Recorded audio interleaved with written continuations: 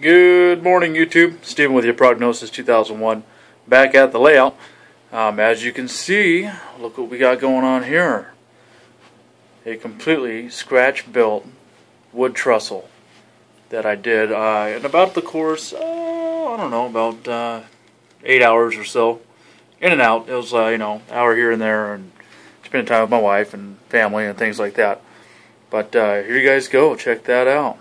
Probably going to do a nice dark wood finish to give it that old rustic look. So uh, that should look really good.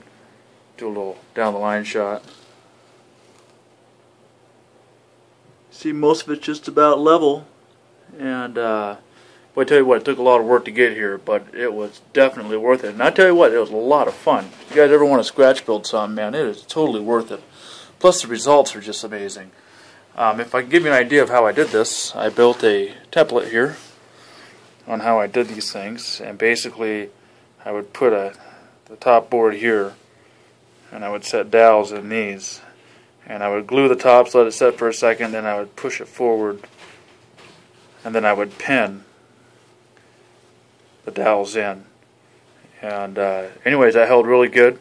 Then once that's set, I would set the the the baseboard, if you will, down there, like you see here. I'd set the baseboard, and I'd run the cross up here now let that dry, spin it around, and then I would finish the other side.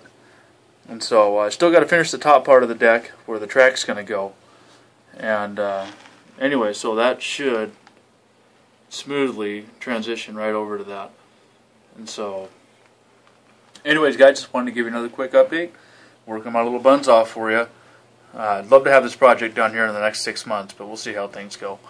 But uh, anyways, there's the start of the bridge. And uh, if you guys have any questions or comments on how I did some things, just uh, give me a holler and I'll uh, I'll do the best I can to explain to you how I did it. So, anyways, you guys have a good morning, and we'll talk to you again.